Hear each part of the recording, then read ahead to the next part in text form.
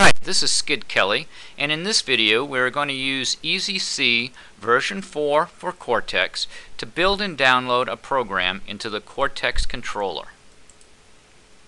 This video assumes we have already created a program or we have opened a saved program.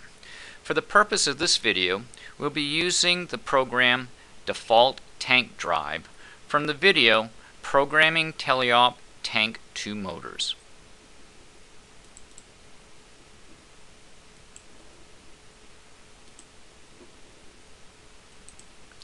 The purpose of building and downloading is to create a hex file from our EasyC program and download it into the Cortex controller.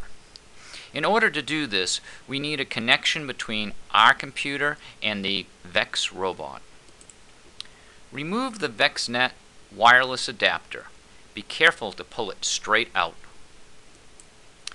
Connect one end of the USB cord that came with the Cortex controller into a USB port on the computer and the other end into the Cortex controller. Make sure the Cortex controller is turned off. This is a safety precaution because if there is a autonomous code in the EasyC program and the controller is on, the robot could run the program as soon as it is downloaded. Now we will select the Build and Download on the menu bar and select the Build and Download.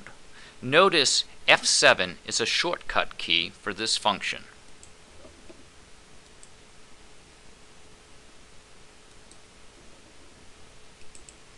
When the hex file successfully built pop-up window appears, click on the Yes to download the program.